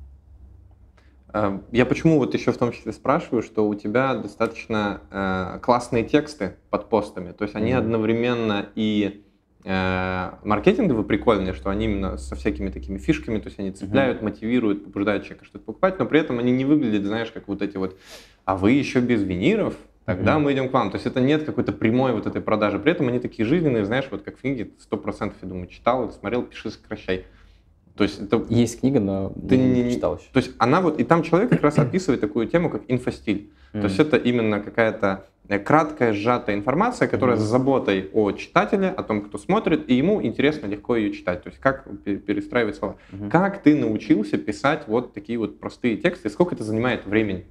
Потому что многих в этом затык, когда люди говорят, там, например, вот я, например, общаюсь там, с ребятами, с знакомыми, которые, там, например, говорят, что ну вот я вот задолбался там работать наем, не знаю, где брать пациентов. Я говорю, ну, там, Инстаграм, соцсети. Они говорят, я не знаю, что там, типа, написать. Ну, напишу я, ну, вот сделал я пломбу, и чего? Mm-hmm. Я говорю, ну, вот есть же там то, есть это, пятое, десятое. И вот с этим основной затык. Человек там садится, и сутки он сидит, там, что-то написал, потом что-то отредактировал, что-то нет, что-то не то, что-то не так, как-то непонятно, какая-то каша. То есть ты как научился это все делать? Я сначала тоже долго очень писал.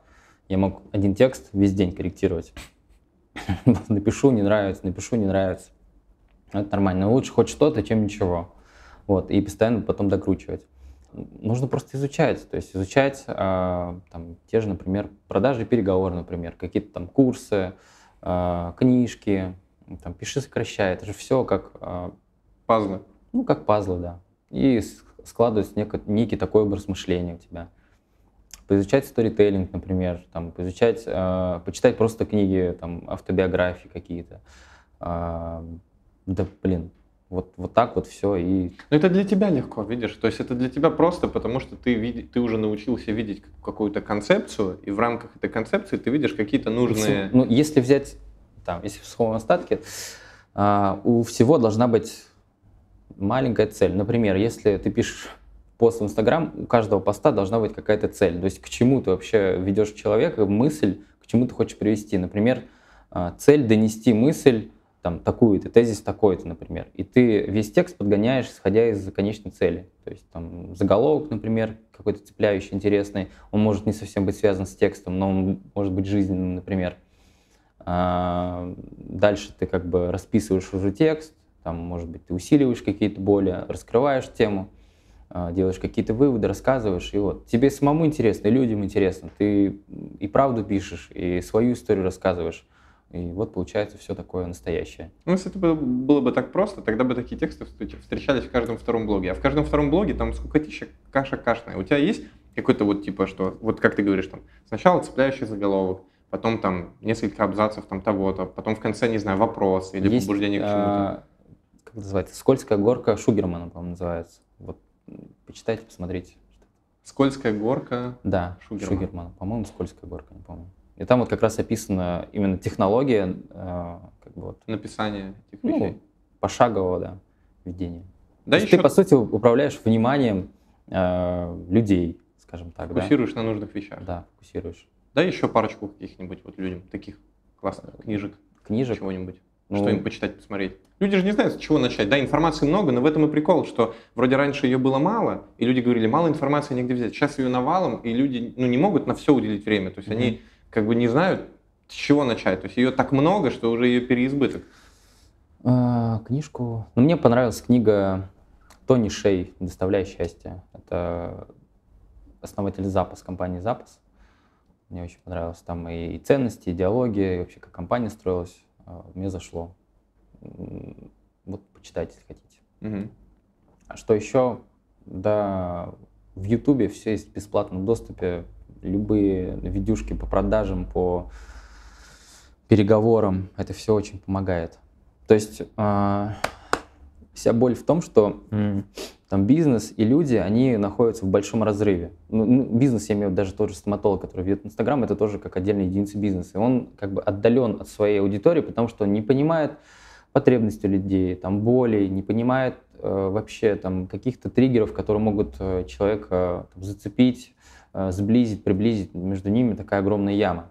И задача там, предпринимателя или там, человека, который Инстаграм ведет, это просто вот сокращать это расстояние. Вот. И тогда возникает доверие, доверительные отношения. Также и в бизнесе, например, или там на консультации с врачом. То есть чем меньше вот эта пропасть, тем лучше. Угу. И тут вопрос коммуникации. Если ты умеешь коммуницировать э, лично, там в переговорах, например, ты можешь э, коммуницировать там на уровне аудитории а, уже, например, в социальных сетях, там проще. Человека не видишь, ты как бы что написал, получил отклик, вот тебе, пожалуйста, обратная связь. Получил лайки, значит, там людям зашло. Или получил какие-то реакции, все, значит, людям зашло. Все намного просто, намного проще. Ты строишь сейчас какой-то контент-план или просто фристайлом? Вот, захотел? Сейчас, сейчас у себя максимум на несколько дней я что-то вот прописываю. Но есть контент-план на месяц, там, на неделю, там, с маркетологом мы прописываем какие у нас основные цели, задачи. И да, стараюсь идти. Но я не всегда могу идти по нему. Я могу что-то в моменте поменять, и как-то сам. Ну, у тебя сейчас, да, конечно, с таким опытом ты уже, ну, примерно понимаешь, вот как, да. в какую сторону. Тем более, что с твоим, получается, опытом ведения Инстаграма ты можешь уже точно сказать, какие вещи там, допустим, лучше работают, например, сейчас, а какие там уже не работают. Потому что тренды же постоянно меняются. Да. Что сейчас уже точно не работает? Какие-то giveaway, еще там какая-то такая штука? ну, для, для набора аудитории какой-то полумертвый, может быть, работает. Я просто сам участвовал. А, меня люди спрашивают, типа, откуда столько подписчиков. Но у меня 80%, 70% это все живая аудитория. Часть аудитории я пробовал гивы, и они, конечно, подубили мой аккаунт немного, но мы сейчас чистим. То есть у меня... Потому что они массово отписываются, потом и типа Инстаграм видит, и, что И они отписываются, да, и просто висят мертвым, мертвым грузом, и это не целевая аудитория. Вот. Мы подчистили уже достаточно много. У меня было там до 700 тысяч доходило, сейчас меньше, сейчас около 500. Да, я видел 489, там А. 490. Ну, пока мы разговаривали уже, Да, может быть. косарик набежал. Ну вот у тебя в инсте, получается, подписки с твоей страницы, они в основном не на врачей, они в основном на предпринимателей, моделей, на диджеев. И сфера медицины тебе, получается, интересна вот лично с точки зрения бизнеса в первую очередь. Мгм. А твои личные интересы, они как бы в другой, получается, области Мгм. находятся. То есть ты особо за врачами даже не следишь. Вот мы до, съемки я там тебе разговариваю, там, такую фамилию, такую, ты там, Нет. что, чего? За врачебной деятельностью не слежу, за какими-то личностями, ну, я их так знаю. Не знаю. Ну, у тебя есть такое, знаешь, э, мы с тобой не были знакомы вот до еще момента съемки, у тебя есть такой, ну вот со стороны, как мне показалось, такой имидж такого человека спокойного, очень отстраненного и, ну, очень э, хладнокровного в этом плане. И даже если посмотреть какой-то вот конгресс, какую-то вот там выставку, где ты выступаешь, я вот был, например, в Москве, когда был, не помню, как называлось, э, Ревилайн организовывал зимой, по-моему, в Москва-Сити, А, ты ну, там ну, тоже ну. выступал. Ты вот, знаешь, как вроде бы тебя знают, ты на слуху, у тебя есть успешный бизнес и так далее, но ты как-то вот все равно отстранен от вот этой тусовки. Почему? Это тебе просто неинтересно с основной как бы массы людей, или у тебя не хватает на это времени, или, или в чем как бы, или это кажется, и на самом деле ты посвящаешь этому время? Посвящаю время чему? Ну, Именно- общению именно конкретно с медицинскими, вот там, с именами какими-то громкими. Потому что есть же условно там такая тусовка, кто следит за Инстаграмом вот именно известных там врачей, набираешь там стоматолог, там, я не знаю, там есть определенный вот этот топ, условно говоря, о которых все знают, Да. фамилия слуху. Это такая тусовка, которая вокруг там объединяется. Но ты как-то... так- Я не в тусовке. да, не в тусовке. Да. Да, не в тусовке. Нет, я знаю каких-то отдельных личностей и все. То есть не знаю, как так складывать. Может быть, чуть больше, чуть позже буду в тусовке, не знаю. Но это прикольно на самом деле, потому что у нас есть тоже задача показать, что путь, он разный, потому что люди вот тоже видят в Инстаграме и такие, ну все, хочу дружить с Бабуровым. Других как бы способов продвинуться в целом и нет. Э, По поводу Инстаграма я вот еще листал, обратил внимание, что у тебя была такая, скажем так, коллаборация, я не знаю, или на каких-то было условиях, с Ириной Дрейт. Это модель э, Да, Маврин. это- это хорошая Models. знакомая моя, да. Да. Как вот это вообще произошло? То есть как ты и написал именно, или это просто именно знакомое просто из, из да. жизни? Это просто знакомство из жизни, а потом перетекло, э, вот, не знаю, сотрудничество или что это. И в чем заключалось сотрудничество? Ну, это даже не сотрудничество, то есть, ну, во-первых, это просто хорошие знакомые, да, ребята, они классные. А сотрудничество, ну да, мы и сделали, я и сам сделал зубы, все, она иногда, она, я ни о чем не прошу, чтобы она там выложила там пост обо мне или там отметила, она сама там. На протяжении уже скольких лет он просто берет, там, сама что-то выкладывает. А потому что они делают контент, фотографируют и там отмечают меня. И заодно зубы. Просто интересно, Ну вот да. именно взаимодействие с такими известными людьми, потому что среднестатистическому, мне кажется, стоматологу, ну, это выглядит со стороны, что круто, круто, хочу работать со звездами, у них, наверное, высокие ценники. Но вот мы с Денисом Крутиковым разговаривали, кстати, смотрите интервью, кто еще не смотрел.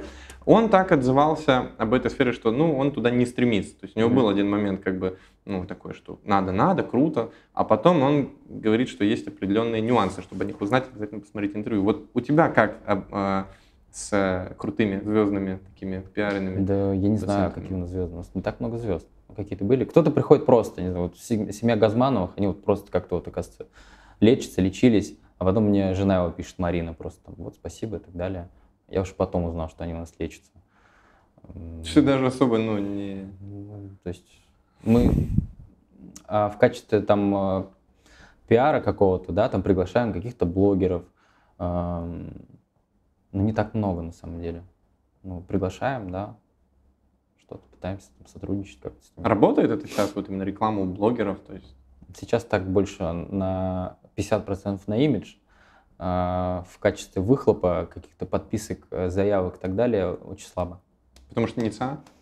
Нет, Их потому аудитория. что просто аудитория уже подвыгорела в Инстаграм от всего вот этого вот. То А что сейчас работает? Это что сейчас работает? Да, на что, на что вот делать упор? Условно говоря, как вы ведете Инстаграм, на что вы делаете упор? Ну, а уже Контент. со своего уровня, да, то есть как бы в каком направлении вы в Инстаграме развиваете. Мгм. И как бы вот, например, если человек хотел бы сейчас как-то качать, что ему надо было бы делать? Потому что я думаю, это две разные все-таки немножко. Всегда, ну, личный бренд всегда будет, потому что вот кому-то нравится там Вячеслав Мун, а, кому-то он не нравится, даже несмотря на то, что зубы хорошие, может быть. А, и все как бы захватывают свою, там, свой кусочек пирога с рынка. Отличный бренд всегда нужно развивать. И контент. А, чем он интереснее, чем эмоциональнее. Э, ошибка стоматологов сейчас, не сейчас, а вообще а, многих а, тех, кто институт ведет, в том, что они сосредоточены много на рациональном контенте. То есть рациональные там какие-то посты, там пломбы, кариес, это, это все очень рационально, и это не очень сейчас работает. Топ-5 щеток, типа? Что? Топ-5 щеток, там, как правильно чистить зубы? Да, ну как бы, нет, это тоже хорошо, да, рационально должно быть, потому что это польза, да, это людям заходит. А, а потом еще люди начинают манипулировать как бы какими-то рациональными штуками. А, что, что работает вообще в целом, это эмоциональный контент и сторителлинг. То есть главное зацепить в любом случае, ну, даже если правда, у тебя медицинский да. контент. А как лучше, вот, например, у меня, например, в том числе вопросы, и вот у многих тоже, кто пытается работать, скажем так, в двух направлениях, то есть делать какой-то контент и для коллег, то есть это именно узкоспециализированные какие-то вещи, и брать пациентов из Инстаграма. Лучше ввести два разных аккаунта и разделять эти да, аудитории, конечно. или все в один пихать там и слепки, и топ-5 щеток условно, и там и все подряд. Разделять. Есть коммерческий твой там, клиники, да, например, аккаунт, есть твой личный бренд. Ты как личный бренд, ты кто? Ты, вот, например, ты стоматолог, ты еще кто-то, ты еще кто-то. У тебя есть несколько э, твоих линий, скажем так, да? Вот ты их развиваешь, рассказываешь себе.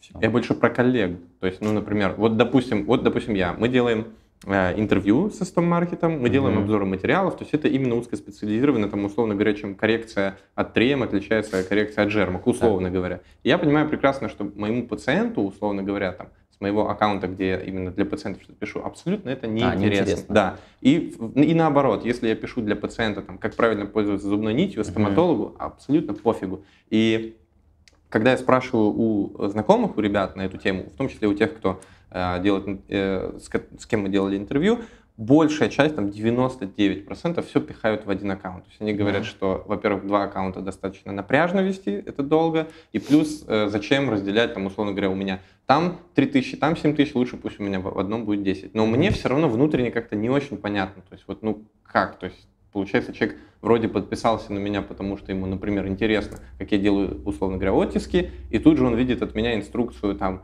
как э, правильно да, чистить зубы. То есть или, или как? Как, как я, ты считаешь? Вот, у тебя... э, вот у меня там на моей аудитории есть э, часть врачебной аудитории, врачебные, руководителей и так далее. Когда я запускал наставничество, э, я вот тоже думал, что делать, потому что большая часть это пациенты, а часть это доктора, которым что-то от меня нужно, что-то им интересно. Почему-то они за мной наблюдают. Я просто перевел их в другую, на, на другую площадку в Telegram, и вот все. Ну, как бы желательно разделять, конечно.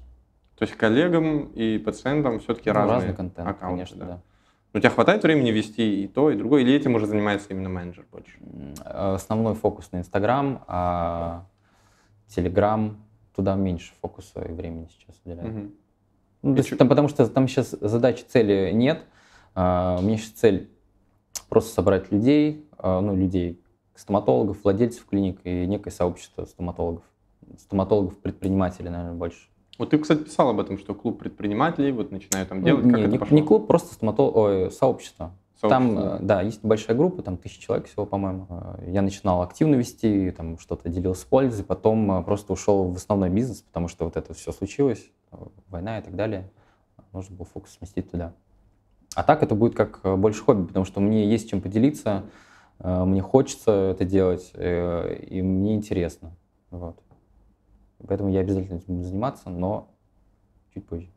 Чуть позже. Просто прикольно, помнишь, когда раньше был момент такой, по-моему, в конце февраля или в начале марта все там массово. Вот моя ссылка на Телеграм, ухожу из Инстаграм, и, тем, да. и по-моему, все как бы вернулось на круги своя, все скачали VPN и продолжают да. сидеть в Инстаграме. Телеграм вообще, ну, ну, как ты говоришь, уже не особо, да, там?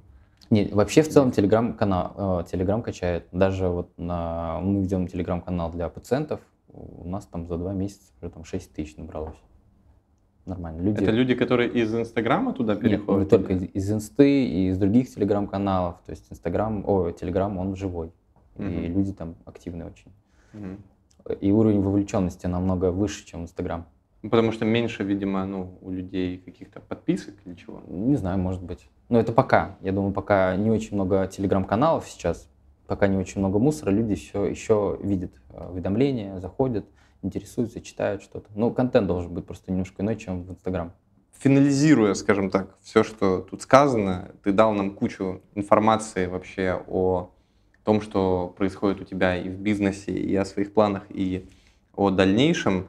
Какие вообще цели и задачи можно ставить сейчас, учитывая, что, в принципе, достиг ты достаточно многого? На чем вообще останавливается предел развития? Куда бы ты хотел смотреть? Ну, помимо того, что открывать клиники там по городам, ну, условно говоря, и здесь в какой-то момент наступит, ну, какой-то, наверное, предел уже. Когда у тебя 15, 20 или 30 или 50 клиник, наверное, Мгм. это плюс-минус уже одинаково чувствуется. Есть какое-то направление, может, не только со стоматологией связано? А, куда хотелось бы еще Ну да. попробовать? Наверное, я, может быть, хочу немного фокуса сместить с бизнеса на что-то свое. То есть порадовать себя, не знаю, как порадовать своего внутреннего ребенка, что ли, то есть э, знаю, пожить где-то, не знаю, в другой стране, Например. там, ну, в Италии, например, пожить, там, не знаю, 2-3 месяца, то есть пожить в другой стране. А, Хочу просто вот как-то так попробовать, попробовать работать удаленно.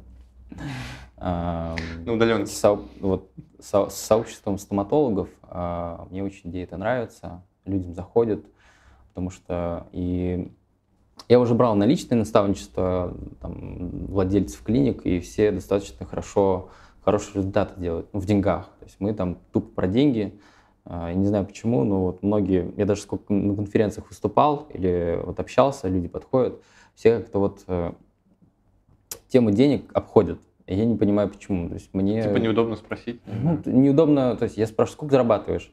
И они как-то вот, сколько там о- оборот клиника? Ну, то есть есть люди открытые, нормальные, но это более такие движовые, молодые. С ними вот хороший коннект, э, и результаты у них хорошие получаются. Вот, хочу развивать сообщество стоматологов, но именно предприниматель, с мышлением предпринимательства. То есть это именно уже, если можно так сказать, инфобизнес. Я не знаю, что такое инфобизнес. Ну, Инфобизнес, наверное, это больше про то, что э, человек, не имеющий опыта реального бизнеса, начинает кого-то коучить и учить. Моя задача не кого-то коучить, не учить, а собрать людей, э, так же, как собирал свою клинику э, с общими ценностями, мыслями и желанием развиваться, без... э, знаешь, не хочется никого мотивировать. То есть и не нужны эти люди. тянуть куда-то. Ну да. То есть те люди, которые го- готовы действительно что-то делать. От э, идеи до действия, там, вот короткий промежуток времени. Вот таких людей я хочу собрать. К чему это приведет дальше, не знаю. Может, к чему-то больше, может, не знаю, будет э, инвестиционный клуб стоматологов, хрен его знает. В крипту будем вкладываться. Да, может быть, так. Будет токен какой Мун, мун токен? Мункоин. Хорошая идея. Кстати, покупайте Мункоин уже на Binance и на Huobi. Ты говоришь, там, вот я давал индивидуальное наставничество. Сколько люди платили? Сколько это стоит? До 300 тысяч. Ну, не час.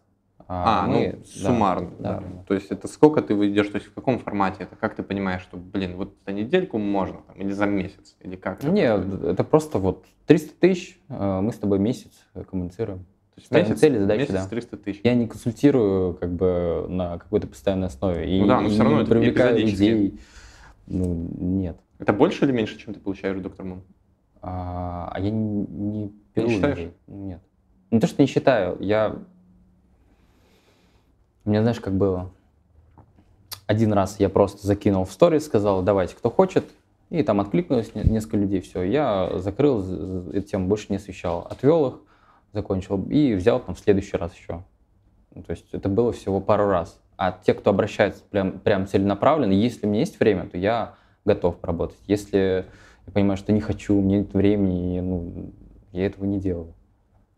И какие, ну, не условно, не, не кейсы, но какие, условно говоря, успехи, то есть как человек после этих консультаций, какой вот у него рост, пример какой-то, А, в деньгах, то есть мы всегда ставим цель в деньгах, чтобы четко было, без Да. воды. да. И какой это был рост? Ну, вот два последних кейса. Одни ребята из Казахстана, правда. Они даже специально прилетали в Москву. А у них X2. То есть они выросли в два раза. Деньгах. Со скольки до скольки? То есть, ну, с 10 до 20 Не, они тысяч в рублей тен- тоже Они, можно они в тенге всегда. Они выросли с 3 до 6,5. За месяц, За полтора, за полтора месяца. да. А, девочка тоже а, из Москвы, клиника в Бутово. У нее там было, по-моему... Я, в общем, не помню, но она тоже в два раза выросла.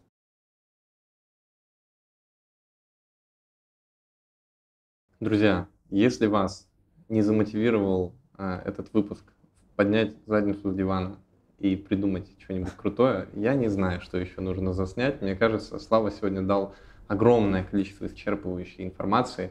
Если у вас еще какие-то остались вопросы или вы считаете, что мы недостаточно, например, какую-то раскрыли тему, пишите обязательно в комментарии.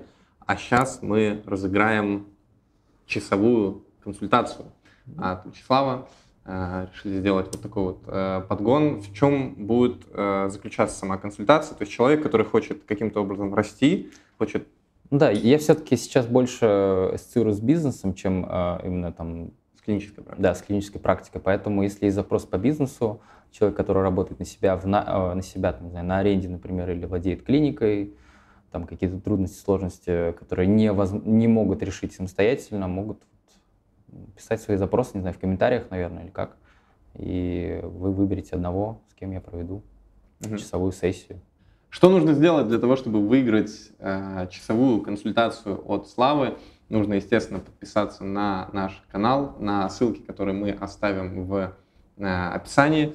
Э, также нужно в комментарии рассказать свою историю, как вы шли э, от чего-то к чему-то, с чего вы начинали и что у вас есть сейчас, и вообще зачем вам нужен этот рост, к чему вы стремитесь. Э, давайте месяц достаточно будет, я думаю, Нормально. чтобы э, Слава оценил все ваши комментарии и через месяц после э, выхода видео выберет победителя, и мы с ним обязательно свяжемся. Слав, большое тебе Спасибо спасибо. большое. Я надеюсь, что всем понравилось. Спасибо.